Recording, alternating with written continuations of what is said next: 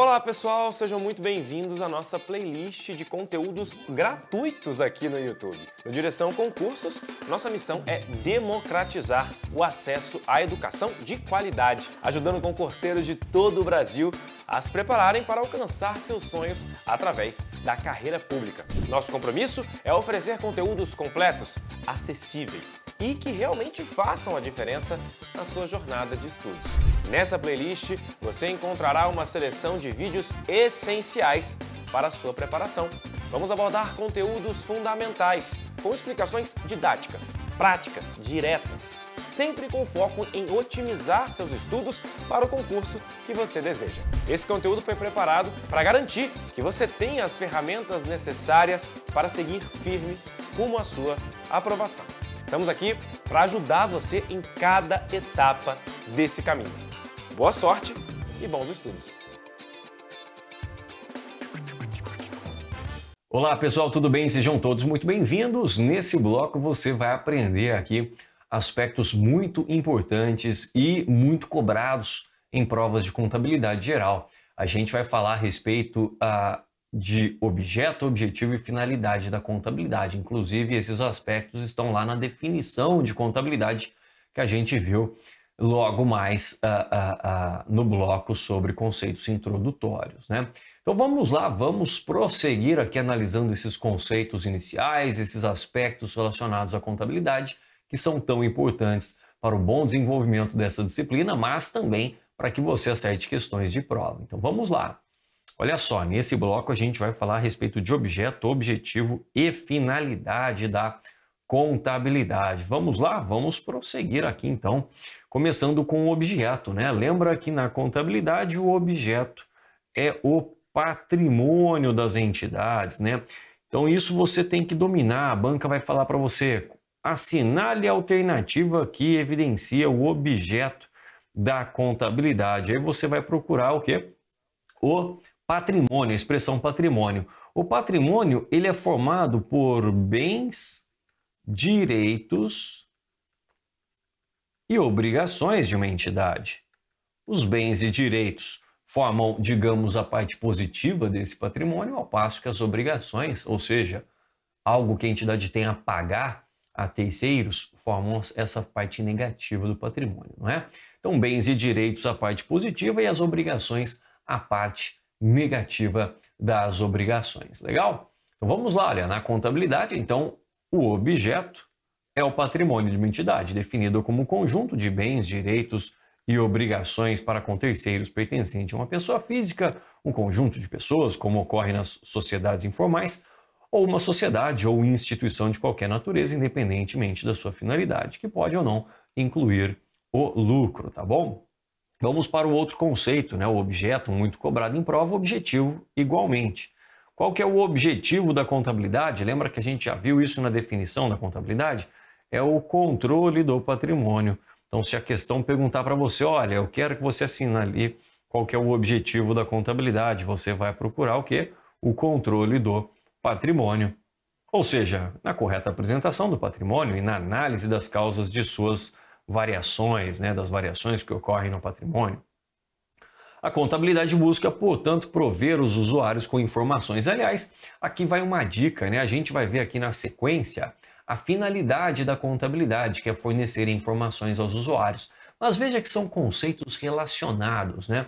Através do objetivo da contabilidade, que é o controle do patrimônio, eu chego ao meu objetivo final, entre aspas, né? Objetivo final ou finalidade, que é fornecer informações aos usuários.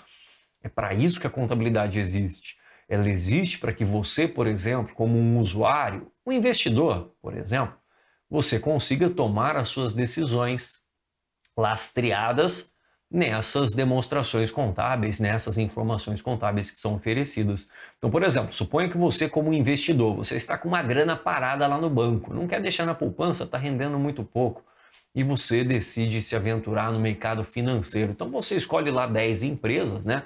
Você não vai adquirir, por exemplo, a ação de uma empresa escolhendo o que?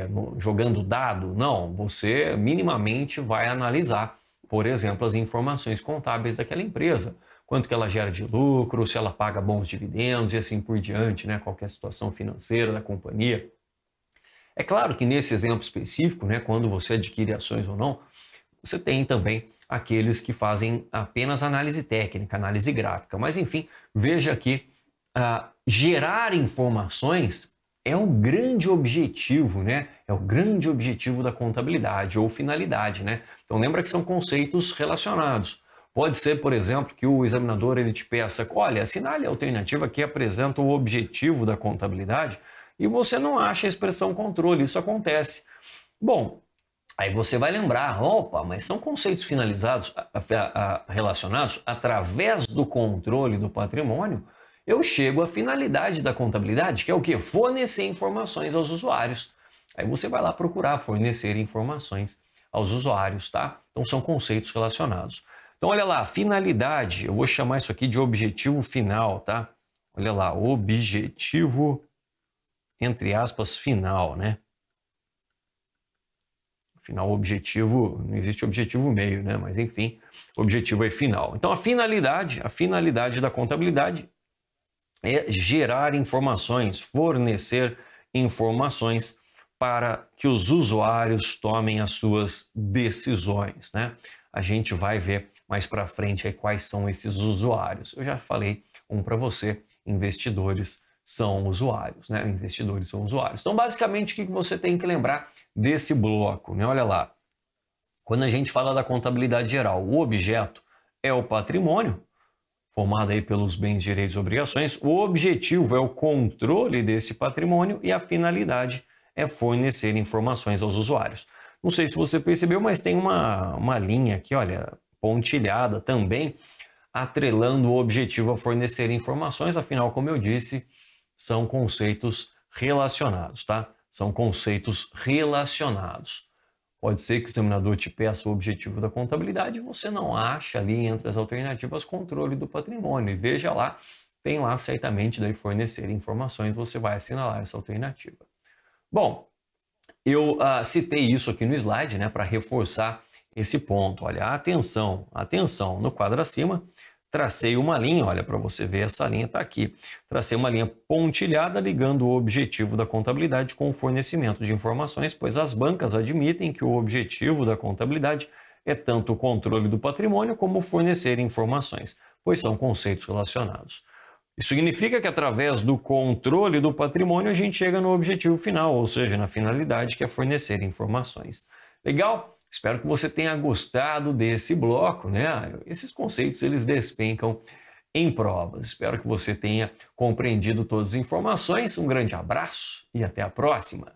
Parabéns, concurseiro, por chegar até aqui. Essa jornada que começamos juntos foi só o início da sua preparação. Ao longo dessa playlist, você terá acesso a conteúdos gratuitos e de altíssima qualidade, com o compromisso de te ajudar a dar os primeiros passos rumo à aprovação no seu concurso. Se você deseja se aprofundar ainda mais né, nos seus estudos e levar sua preparação para o próximo nível, temos cursos completos que cobrem mais de 300 concursos públicos, todos eles organizados com os melhores professores do mercado. Na nossa plataforma do aluno, você terá acesso a materiais exclusivos, aulas aprofundadas, questões comentadas, revisões, resumos e todo o suporte de uma equipe de professores altamente capacitada. Estamos prontos para te guiar até a sua aprovação. Clica no link da descrição para conhecer todos os benefícios e recursos do nosso curso completo e continue essa jornada rumo à aprovação com direção. Vamos seguir firmes até você conquistar a vaga dos sonhos.